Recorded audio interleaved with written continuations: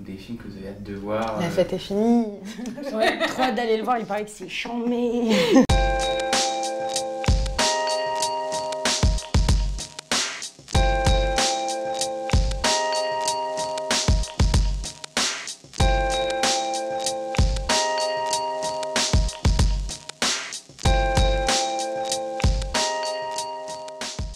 tout de suite euh, émue, c'est l'histoire d'amitié en fait. C'est ce- vraiment ce lien entre ces deux personnages et ce qui a fait écho en moi pour, euh, pour, euh, pour dire oui aussi euh, au projet. Et puis l'écriture, quoi, le scénario qui était super bien écrit, très très romanesque.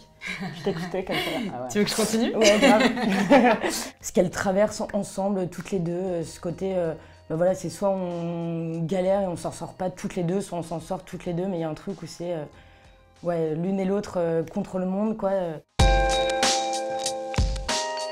Euh. On a assisté à des groupes de parole de personnes qui avaient été toxicomanes. Je me suis rendu compte à ce moment-là aussi qu'on parlait du produit, mais que le produit, euh, c'est un symptôme de cette maladie et c'est pas la cause. Les gens parlaient de leurs euh, de leurs problèmes, de leur addiction, mais ils parlaient surtout d'un mal-être. Ah d'accord, ok, on parle de ça, mais en fait, je peux m'approprier ce- ce- cette histoire sans, sans être obligé de, connaître euh, ce problème de dépendance. Tu te dis, mais je pourrais carrément la prendre la parole, et, et Mm. oui, je me suis sentie comme ça plein de fois, et ça aussi, je, je le comprends. Votre amitié, hein, c'est comme la cam.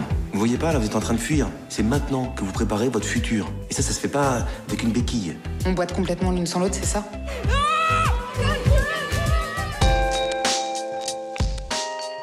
Je sais pas, il y a une- je sais pas, il y avait une relation de confiance qui s'est installée assez vite et peut-être que c'est aussi dû à ça, au fait que quand même elle parle de quelque chose de très personnel et que donc on se sent quand même plus proche de. Enfin, je me sentais plus proche d'elle. Après, j'ai l'impression, euh, homme ou femme, euh, c'est si on travaille avec des personnes intelligentes et sensibles de toute façon, et en qui on croit et en qui on peut, avoir euh, confiance, peu importe en fait, peu importe le sexe de la personne, hein, le genre ou quoi que ce soit. Ma première vraie expérience, en tout cas, où j'avais un rôle de cette importance sur autant de jours, etc. Donc forcément, bah, j'ai appris beaucoup de choses. J'étais trop heureuse d'être là et donc c'était euh, ok, on y va à 2000%, on y va à fond, quitte à parfois, tu vois, rester un peu dans les scènes en dehors et donc se faire un peu de mal, mine de rien. Moi, ce que j'ai, ce que j'ai adoré chez elle, c'est, c'est une tête brûlée, quoi. elle y va, et c'est-à-dire, par exemple, si à un moment elle, elle est bloquée sur une scène, elle peut péter un câble Ouais. sur le plateau, mais c'est jamais méchant. En fait, c'est comme si elle avait pas de filtre.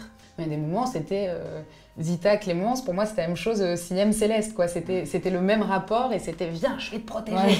viens, on va se sauver, on va être ensemble contre le monde.